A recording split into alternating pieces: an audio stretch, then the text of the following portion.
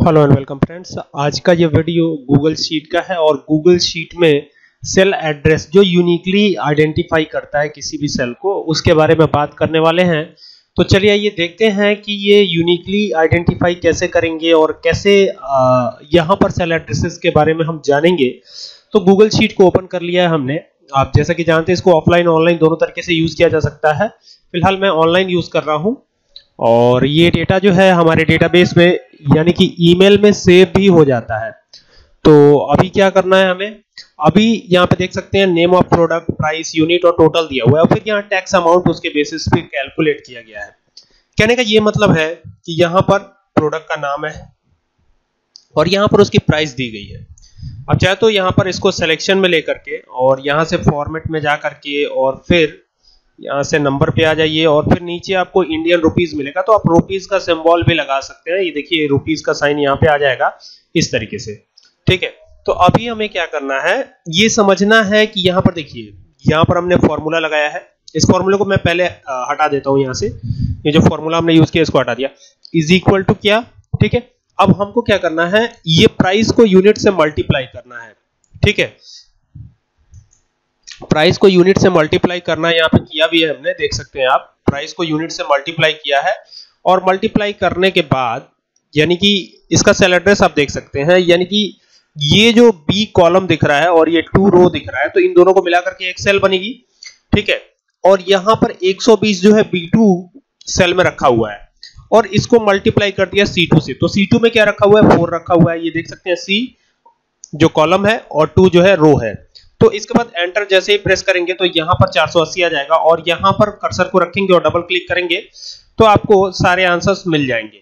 ये मिल गए सारे आंसर्स इसी तरीके से हमें टैक्स कैलकुलेट करना है, ठीक है? तो अभी टैक्स कैलकुलेट करने के लिए इज़ इक्वल टू लगाया और यहाँ से टोटल को सिलेक्शन मिलेंगे, ठीक है? और इसको मल्टीप्लाई कर देंगे। अब चूँकि यहाँ परसेंट का साइन लगाया है तो हमें मैनुअली परसेंट कैलकुलेट करने की ज़रूरत नहीं। ये खुद ब खुद परसेंट कैलकुलेट करके हमें दे देगा तो इसको सिलेक्शन में लीजिए और एंटर प्रेस कर दीजिए। तो यहाँ देख सकते हैं कि 4.60 परसेंट के हिसाब से 480 रुपए पर टैक्स कैलकुलेट होकर आ गया। लेकिन जब इसको आप नीचे ड्रैग करेंगे तो ये ज़ीरो ज़ीरो आ जाएगा। कारण क्या है इसके पीछे? कि जैसे ही हम नीचे की तरफ़ जाते हैं तो सेल एड्रेस हमारा चेंज हो जाता है। ठीक है?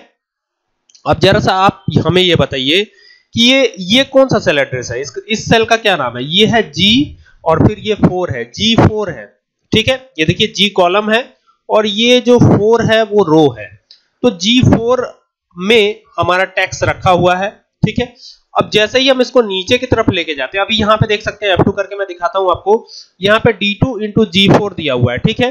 तो D2 के बाद D3 तो होना चाहिए। नीचे ड्रैग करने पे D3 हो जाना चाहिए। जैसा कि आपको दिख भी रहा होगा, यहाँ पे देखिए, मैं आपको दिखा देता हूँ। यहाँ पे D3 हुआ, ये तो सही है। लेकिन यहाँ पे G5 हो गया G4 की जगह तो G5 पे तो कुछ रखा नहीं हुआ है। तो कुछ नहीं का मतलब ज़ीरो हो जाएगा और ज़ीरो से किसी भी संख्या को मल्टीप्लाई करते हैं तो वहाँ पे ज़ीरो आ जाता है। दैट्स वाई यहाँ पे जो है रिज़ल्ट ज़ीरो आ रहा है। देखिए ना, यहाँ पे ज़ीरो आ रहा है। तो इसलिए इसकी वजह से हमारा जो आंसर है वो काफ़ी अफेक्टेड हो जाता है। और हम कैलकुलेट करने का काम ठीक से नहीं कर पाएँगे, चाहे वो एक्सेल की बात करें, चाहे वो गूगल शीट की बात करें तो इसीलिए बनाया गया सेल एड्रेस को। सेल एड्रेस यूनिकली आइडेंटिफाई करता है सेल्स को। यहाँ पे देख सकते हैं जिस सेल का एड्रेस है D2 ठीक है? तो D2 अगर हम ले लेते हैं, यहाँ पे देखिए ये D2 भी हमने लिया है, ये देखिए D2 ठीक है? और जब इसको ड्रैग करेंगे नीचे तो ये D2 D3 बन जाएगा D4 बन जाएगा, ये देख सकते हैं, ये देखिए यहाँ पे तो D4 बन गया, ठीक है? और इसके साथ साथ यहाँ पर देख सकते हैं, ये जो हमने लिया था, यहाँ पर जो टैक्स हमने रखा हुआ है, इसको एक यहाँ पे अलग कलर मैं प्रोवाइड कर देता हूँ ताकि देख पाने में ज़्यादा सुविधा हो आपको। और यहाँ से टेक्स्ट का कलर बदल देता हूँ। ये कलर हमने बदल दिया। तो यहाँ पे देख सकते हैं 4.60 परसेंट यहाँ पे दिया हुआ है। ठीक है? अब ये जो 4.60 परसेंट है, जैसे ही हम इसको ड्रैग करेंगे नीचे की तरफ़, इस तरह से ड्रैग करते हुए नीचे आएँगे तो ये देखिए, यहाँ पर तो अभी बात समझ में आ रही है कि D two into G four है। ठीक है? देखिए D two into G four अब जैसे ही हम नीचे जाएँगे तो D three into G five हो जाएगा। ये क्योंकि भाई, ये बदलेगा तो ये वाला भी तो बदलेगा, नीचे ड्रैग ये भी तो हो जाएगा। मतलब जैसे ही हम इसको ड्रैग करेंगे नीचे, देखिए ये ड्रैग कर रहा हूँ तो इसका भी सेल एड्रेस चेंज हो जाएगा। यहाँ से ये पहुँच जाएगा यहाँ, और ये बन जाएगा G5 ठीक है, फिर अगले कॉलम में जाएगा तो G6 बन जाएगा लाइक दिस देखिए, यहाँ पे G6 बन गया, देख सकते हैं आप। तो हम ये नहीं चाहते कि ये जो सेल एड्रेस है वो चेंज हो। क्या नहीं चाहते? रो चेंज ना हो या कॉलम ना चेंज हो। देखिए, यहाँ पर है तो ये देखिए, ध्यान दीजिए। ये है G4 यानी G4 का मतलब ये हो गया कि G तो चेंज नहीं हो रहा है, यानी कॉलम तो चेंज नहीं हो रहा है, सिर्फ़ रो ही चेंज हो रहा है। तो रो चेंज हो रहा है तो रो को ही मैं क्या करता हूँ? फिक्स कर देता हूँ। फिक्स करने के लिए जैसा कि मैंने पहले भी बताया है कि आपको डॉलर लगाना होता है, ठीक है? तो हमें अभी रो को फिक्स करना है तो रो के ठीक पहले डॉलर लगा दीजिए। तो शिफ्ट के साथ आपको फोर नंबर बटन प्रेस करना है अल्फाबेटिक बटन और एंटर प्रेस करना है। तो ये फिक्स हो जाएगा और एंटर प्रेस कर देंगे। आप देख सकते हैं यहाँ पे वो रिज़ल्ट आ चुका है। लेकिन अब हम इसको ड्रैग करेंगे, तब तो हमें मतलब समझ में आएगा। तो ये देखिए, मैंने इसको ड्रैग किया और सारे ही रिज़ल्ट आपके सामने आ गए हैं। यानी कि हमने फिक्स कर दिया। फिक्स कैसे करेंगे? डॉलर लगा करके करेंगे।